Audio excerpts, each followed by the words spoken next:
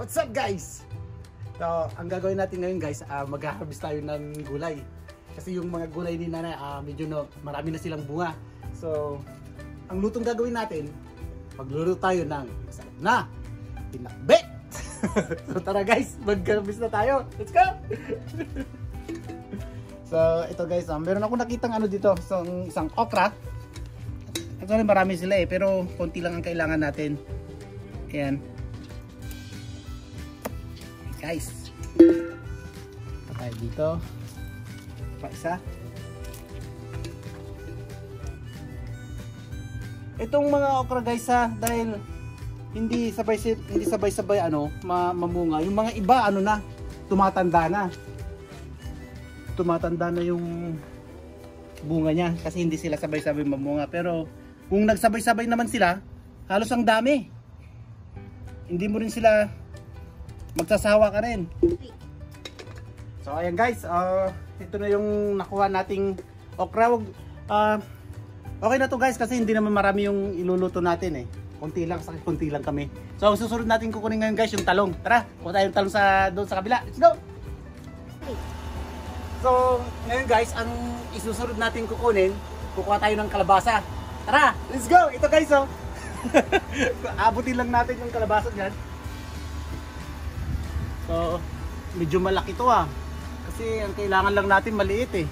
So, pero okay na siguro to. Kunin na natin to. Wow, parang parang ang kailangan ko dito kutsilyo. Ay hindi. Makukuha ko rin. Yun. Parang hindi ata kasya. Doon ko idadaan. Ah, uh, ko muna to dito.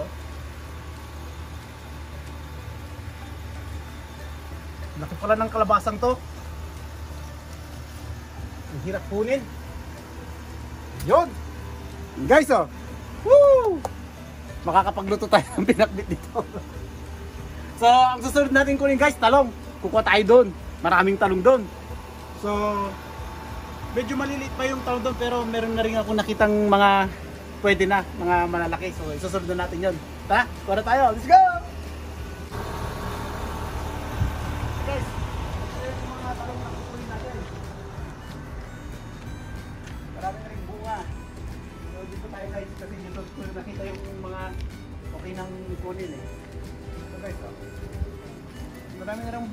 Marami na rin bunga to guys. Tingnan natin to. Tapos dito sa likod.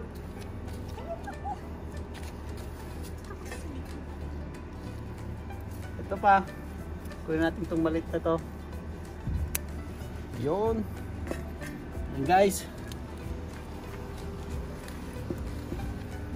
Ito pa.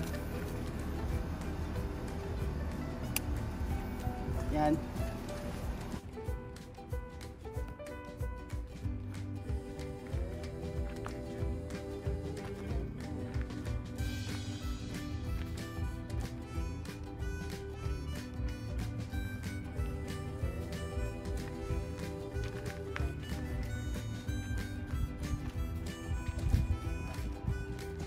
Guys oh. Medyo pwede na to, malaki-laki na rin to. ang hirap kunin na. Ayun. Yan guys. Ah. Fresh na fresh. So, ito na yun ako. Okay na siguro to guys. Marami na to. Ayan. So, bali, bali huhugasan na natin. Ah, titignan muna natin yung mga nakuha natin guys. Tara, let's go! So, ang susunod natin na kukunin guys ay kamatis. Meron akong nakitang isang bunga ng kamatis din dito. Nag-iisang bunga yun. Medyo inalungkat-halungkat ko pa yun guys kasi ang hirap hanapin. So nakakita ako ng hinog dito. Ito guys, kamatis to eh. Ayan oh. So, nasa ano yung, ba, inunahan na yata ako ng squirrel ah. Ang kumakain ng kamatis namin guys, squirrel. inunahan kami ng squirrel. Ito guys, oh, medyo maliit pa siya. Ayan, maliit nga. Dadagdagan na lang natin to guys. May mga kamatis naman dun sa loob eh. So, kunin natin to para hindi masayang. Okay guys, tara. Isama na natin to. Let's go. Ganyan. Oh. So ito guys yung mga nakuha nating ano, mga gulay. Ayun, so meron pang kulang, kulang, kulang pa ng ampalaya pero hindi na tayo alis ah mga kaibigan kasi ito yung ampalaya nasa taas lang. Aabuti lang na natin na ganyan. So kailangan din natin yan para makumpleto na yung gulay natin. So, guys, kukunin na natin. Ano tayo ng ampalaya? One. Piliin natin yung mga medyo matanda na guys. Para ano kasi madaling mahilog to pag ang nakuha natin ay mga bata pa. Ito pa guys oh, medyo malaki to kunin na natin. Yan. Kunin na rin natin to. Oh, ang daming ampalaya guys. Oh, ayan oh. So, pa kayang medyo matanda dito. Ito guys, tanggalin na natin to kasi masisira na to oh. Tilog na. Hindi na yan lalaki. Oh, ito kunin na rin natin to. Yun. Daming ampalaya. Kunin na rin natin to. Oh, daming ampalaya oh. Yan. So tama na siguro yung ampalaya guys. Marami na yan. So, ayan guys. So hugasan ko muna to tapos gagayat-gayatin na natin tapos iluluto na natin. So, o nga pala guys, uh, yung ano, kasi kulang pa yan, konti pa, meron akong nakitang sitaw sa rep. So idadagdag na natin itong sitaw. Actually, bagay nga sila. O, ayan guys. O, diba? Kompleto na yung pinakbit natin. Ngayon, ang gagawin na lang natin guys, magluluto tayo ng masarap na pinakbit. okay, let's go! Bukasan na natin to.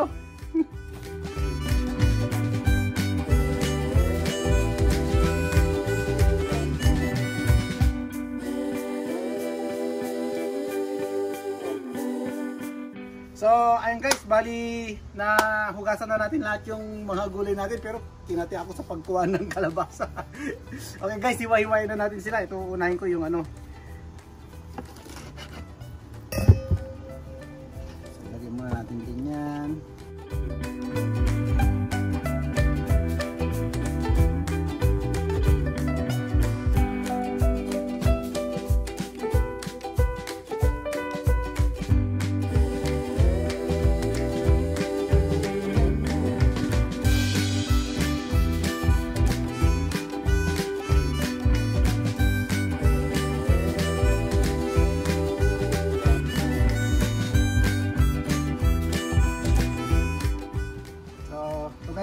Hiwain na rin natin itong okra.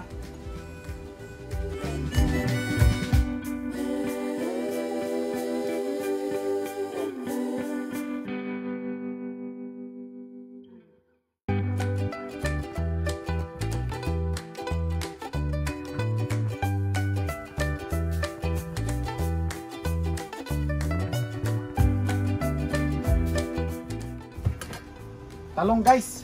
Sundan natin yung talong.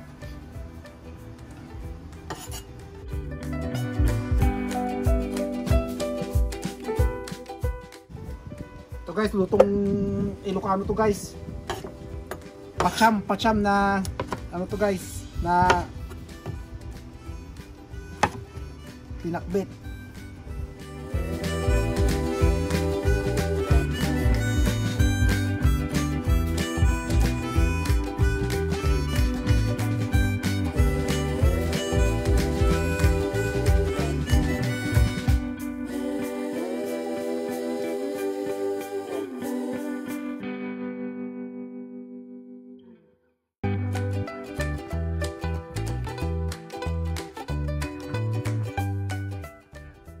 Okay guys, kukunin ko na yung ampalaya.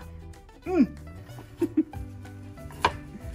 Iwain na natin itong ampalaya guys.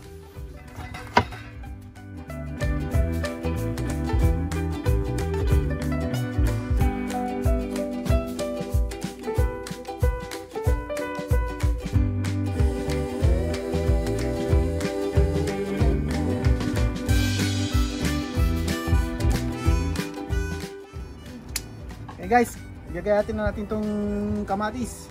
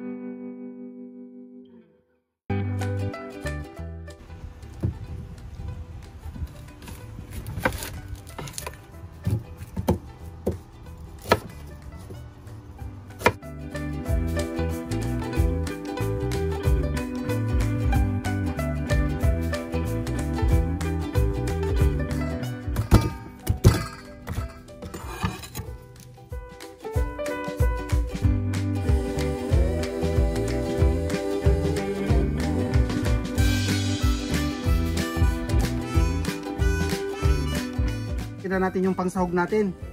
Karne ng babi.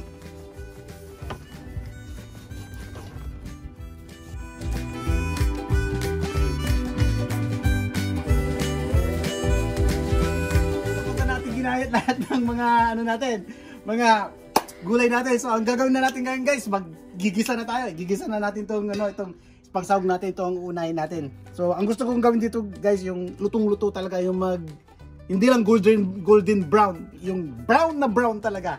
So ayan. Yan natin. So kukuha na tayo ng mantika. Okay, ilalagay na natin yung wok. Bubuksan na natin yung kalan. Ala, kalan. Yan, kalan. Yun, no? Okay. So, lagyan natin ng mantika.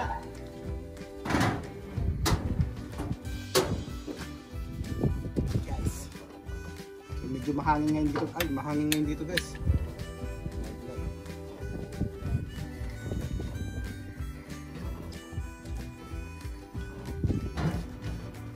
Yan. So painitin muna natin to guys. Tapos pag mainit na, ilalagay na natin tong pork. Okay guys, ayan medyo mainit na yung mantika natin. Ilalagay na natin yung pork natin. Yung hinihiwa-hiwa kong karne ng baboy.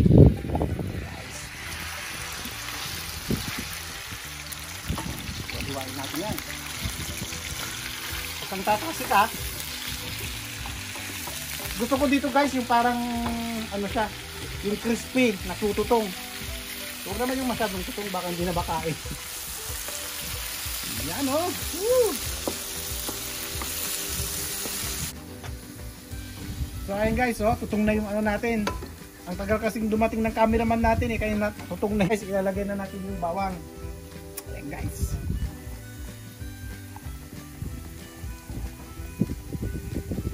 Lagyan natin yung bawang dyan. Eh, syempre, eh, pinahinaan ko yan eh. So, isabay na rin natin itong sibuyas guys para hi- hindi umiyak. Baka umiyak yung sibuyas eh. Yan. Lakasan natin yung apoy. Yan oh. Sabay-sabay na sila lahat dyan.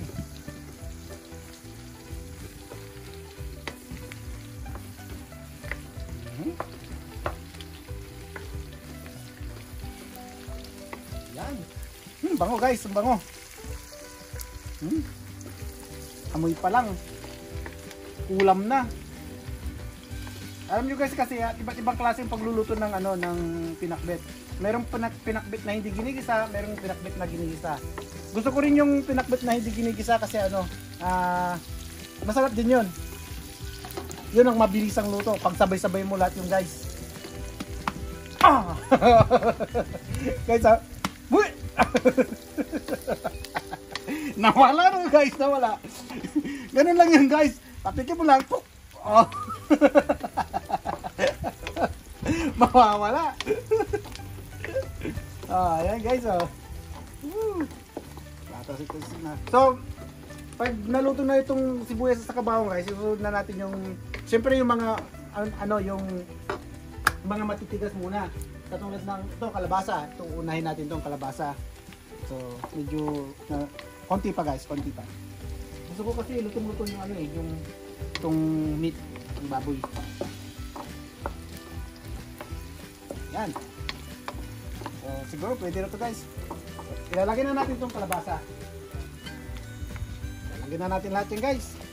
Sabay-sabay na natin yan. So, ang iluluto natin guys, parang ano ah, pinakbit na kalabasa. Yan. Sarap nito. Yan no. Yan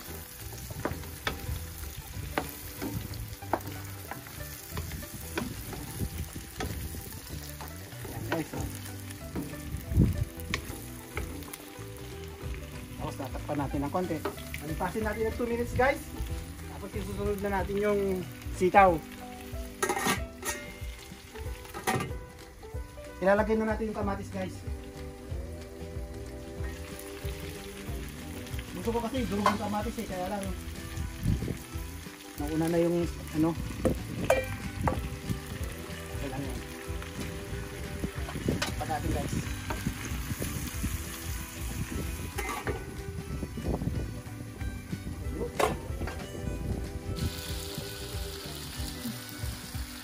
Go! Okay guys, ngayon ilalagay na natin tong ano, sitaw. Lagyan na natin yan guys. Haluin na natin yan. Tapos, pagkatapos nito guys, kunting halo, tapos ilalagay na rin natin yung talong natin.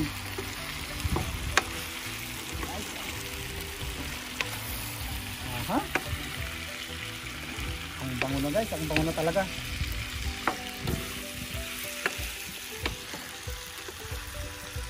Guys, lagyan na natin yung talong natin. Mukhang ang dami nito ah. Pinakbet ng sangkakanayon guys. Kapilin natin sa lahat doon. Ha? Lahat doon. Meron ako nakitang reject guys. Tatanggalin natin yan.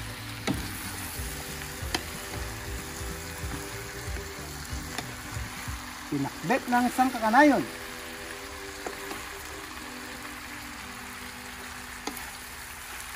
So ayan guys, so nailagay na natin guys yan, konting halo. Ilagay na rin natin itong ampalaya saka okra. Ayan, guys, Woo! Dami niyan oh.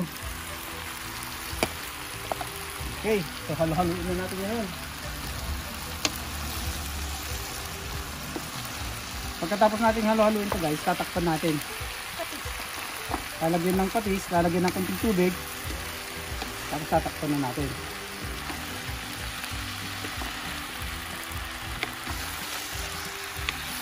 Pork cubes. Yeah, pwede. Ano ano yan. Okay guys. So, gagawin natin ngayon. Lalagyan natin ng konting patis. Lalagyan natin ng konting tubig. Tapos tatakpan natin. Guys, konting patis. Ah, siguro tansyahin muna natin ngayon. Pero para pag ano, sa susunod, tikman natin. Tapos kung kulang pa sa timpla, saka tayo magdadagdag ulit. So, yan, tatlo muna ngayon guys. Tapos, maglalagay tayo ng konting tubig.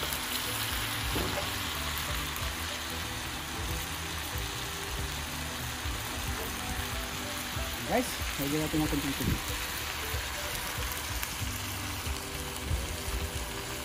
Alright. Tapos ngayon tatakpan natin.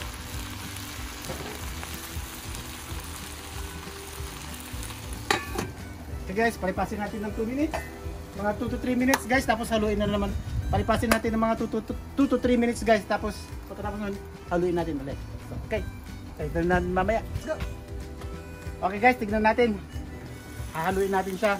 So, so pun punta ako dun sa loob guys, kumuha ako ng ano, pork cubes. Ito guys, kung gusto nyong lagyan guys, pwede rin. Ako guys, nakita ko eh, isa na lang kaya ilalagay ko na lang to guys. Sayang naman kasi. So, hahaluin ko siya. Kaya ilalagay natin sa ilalim para madu madudurog. Yan. Kasi may sabaw siya sa ilalim eh. Kaya haluin natin yung ganyan. Woo!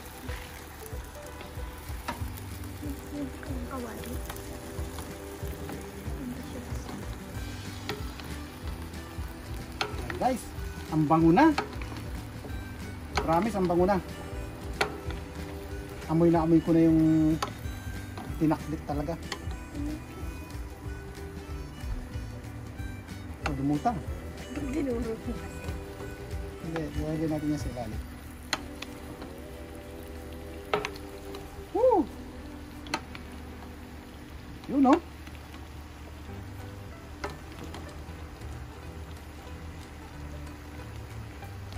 Yun, nadurog na. Wala na. Yun siya, oh. durog na yung mga cubes.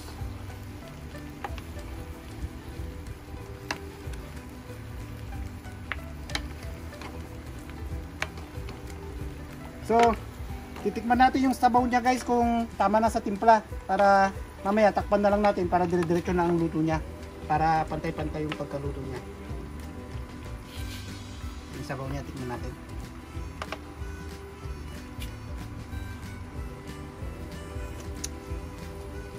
So, okay na guys. Kunting asin na lang.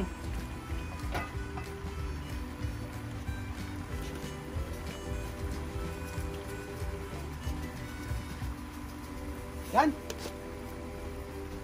Takpan na natin. A little bit of water. Okay. Yan, may steam na yan guys. Yun! Ano? Panalo na to guys. Hindi, hindi naman ako magpapalarinig eh. Dancing chef.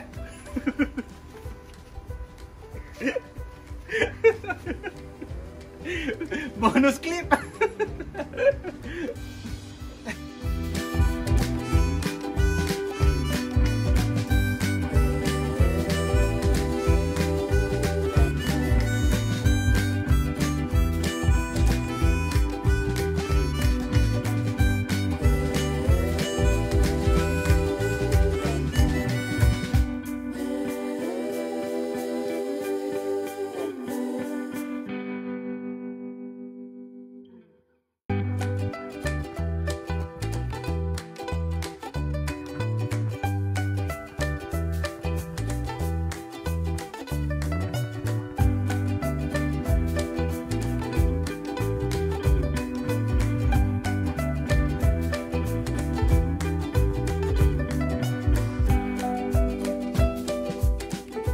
ayun guys, ah titikman na natin tong niluluto natin. Mukhang masarap na siya guys. Mukhang ito na yung sinasabi kong masarap na pinakbe. Titikman natin kung tama na yung timpla niya.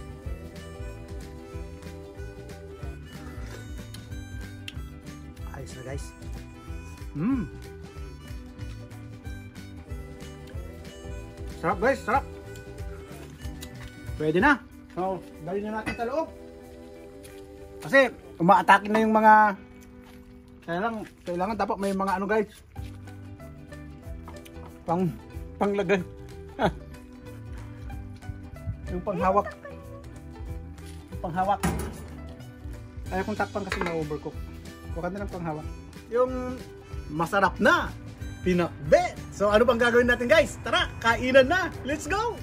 So ayun guys, tapos na yung masarap na pinakbet na niluto natin. So ano pang ginagawa natin guys? So tara na, kainan na. Let's go!